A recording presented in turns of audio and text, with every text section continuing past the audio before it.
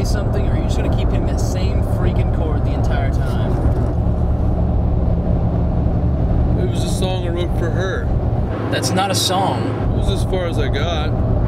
Why are you sitting back there anyway? I need seclusion. I'm meant to be alone. Come on, man. You're not alone. You've got friends, you've got me.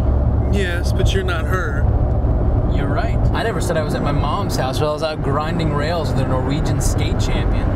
This is just what you need, man. Road trip. Where are we going anyway? I don't like surprises. All right. We're going to a big comic book convention in Atlanta. A big comic book convention.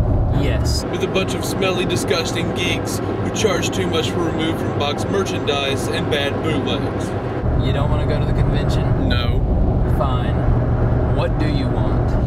Her. She's a whore. She's confused right now, alright? She doesn't understand that ours is a forever love.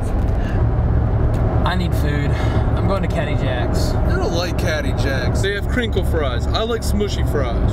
Smushy fries? Smushy fries. With lots of salt. It's the only thing that can heal this broken heart. Oh my god. Hey man, say what you will about the highs and lows of post adolescent romantic endeavors. There's no reason to take the Lord's name in vain.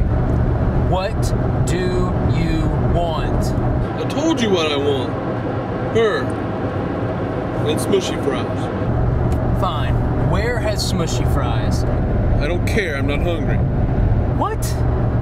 What was all that Smushy fry talk? Never mind. I'm going to Caddy Jack's. Are you sure you don't want anything? They have nothing I desire.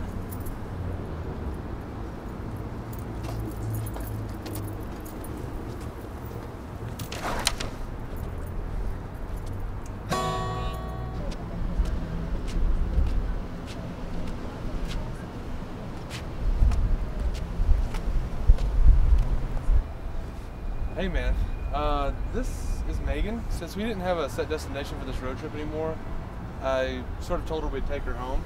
Is that cool? Why not? Thanks so much. So, uh, where do you live, Megan? North Carolina. Just get in.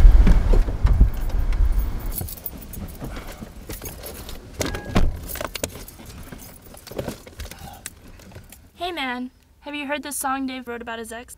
It's so expressive.